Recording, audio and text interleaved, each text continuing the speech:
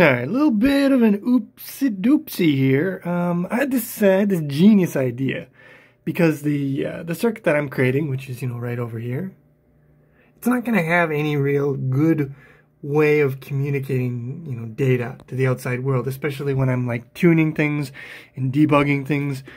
So I thought to myself, well, you know, it'd be nice if I could hook this display up to it. But I don't want to hook it directly up to here because we won't be using it in the final product.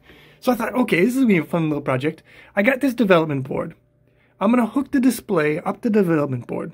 Then I'm going to create a uh, I2C link, a serial communication link between this board and, you know, my product here. And that's nice um, because I'll be able to reuse this in any future projects. The I2C link only requires uh, two cables. So, yeah, it would be very nice to have this board here, not only as my uh, uh, my validation for my programming workflow, but also as like a little bit of a portable display that I can hook up to different projects and grab information out of them. So that was a good, cool idea. Little problem here. This display, it uh, requires 5 volts to run. And this is a 3 volt device.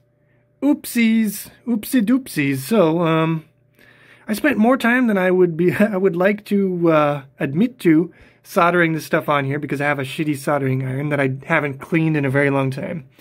And because I'm crap at soldering. So I spent a lot of time and then, you know, the gif of um, Frodo from The Lord of the Rings when he finally throws the ring in there and he says, it's done.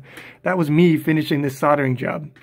And then I plug it in, get my programmer working, and I realize, oopsie doopsie, voltage isn't going to be enough to run this. Also, voltage isn't going to be good for hooking this up to this if I want to run them all in the same power supply. So, yeah, I just wasted a lot of time soldering all this crap on here, and now I'm going to have to remove it. So just a, just a little PSA here to make sure you double check your data sheets before you start on a uh, project like this because uh, it can end up in a big old waste of time.